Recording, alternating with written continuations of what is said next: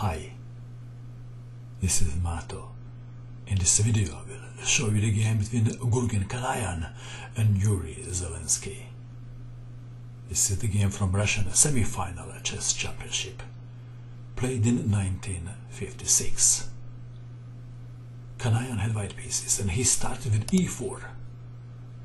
Zelinsky played c5, Sicilian defense, knight to f3, knight to c6, bishop to e2, knight to f6, knight to c3, g6 going for dragon variation, d4, c takes on d4, knight takes on d4, d6, bishop to e3, bishop to g7, queen to d2. White is intending to castle queenside. Zelinsky castled kingside and Kanayan castled queenside. These opposite side castling games are always great fun to watch. Knight to g4 attacking the bishop on a3. White dark squared bishop is ideally exchanged for black dark squared bishop, making the attack on black king easier. So we have bishop takes on g4, bishop takes bishop, f3, bishop to d7, h4 intending h5, h takes on g6, opening the h file, exchanging bishops, delivering checkmate with queen. Knight to e5, intending knight to c4, queen to e2, rook to c8, h5, knight to c4, attacking the bishop, h takes on g6, h takes on g6, bishop to h6, black to move. This is actually the critical position of the game. Black to move, yes, black to move. What would you do if you had black pieces?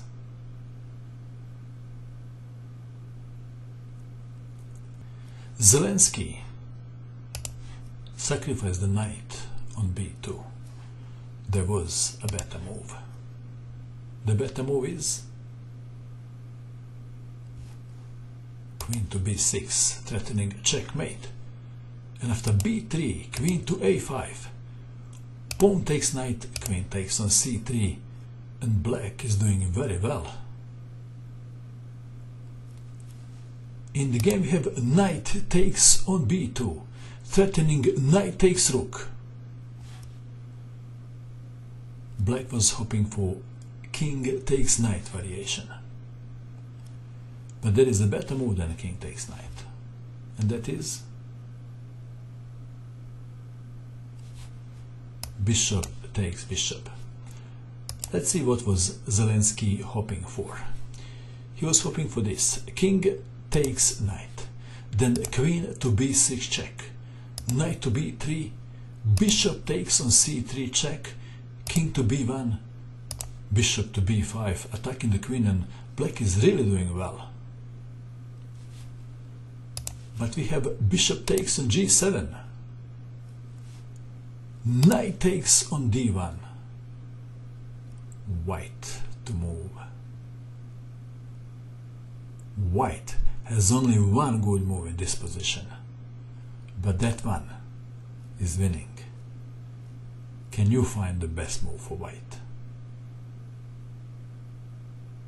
I will show you a move that doesn't win the game, and that is knight takes knight.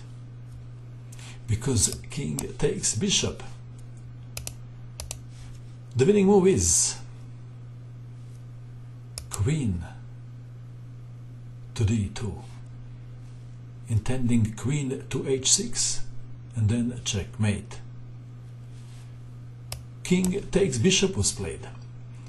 Queen to h6 check. King to f6. Knight to d5 check. King to e5. Rook takes knight and white is threatening queen to f4. Checkmate. Black played a desperate move. Rook takes on c2 check.